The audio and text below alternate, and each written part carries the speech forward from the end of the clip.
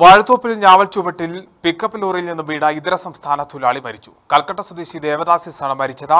വാഹനത്തിന്റെ മുൻസീറ്റിൽ ഡോറിനോട് ചേർന്ന് ഇരുന്ന ഫോണിൽ സംസാരിക്കവേ അബദ്ധത്തിൽ വെളിയിലേക്ക് തെറിച്ചു വീണാണ് അപകടമുണ്ടായത്. മൃതദേഹം ഇടുക്കി മെഡിക്കൽ കോളേജിൽ പോസ്റ്റ്മോർട്ടത്തിന് ശേഷം സ്വദേശമായ വെസ്റ്റ് ബംഗാളിലേക്ക് കൊണ്ടുപോകും. ചെറുതോണിക്ക് സമീപം സംസ്ഥാനപാതയുടെ നിർമ്മാണത്തിൽ ഏർപ്പെട്ടിരുന്ന പശ്ചിമ ബംഗാൾ സ്വദേശിയാണ് രാവിലെ എട്ട് മണിയോടുകൂടി അപകടത്തിൽപ്പെട്ട് മരിച്ചത്. പശ്ചിമ ബംഗാളിലെ ഗോലാലു ബഗരാദി മജിൽ ഇരുപത് വയസ്സുള്ള ദേവാസിസ് മജിയാണ് മരണപ്പെട്ടത്.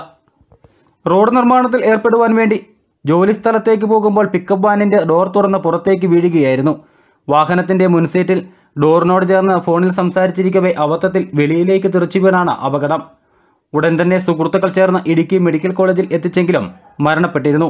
മൃതദേഹം പോസ്റ്റ്മോർട്ടത്തിന് ശേഷം സ്വദേശമായ വെസ്റ്റ് ബംഗാളിലേക്ക് കൊണ്ടുപോകും. Idukki Vision News Cheruthoni.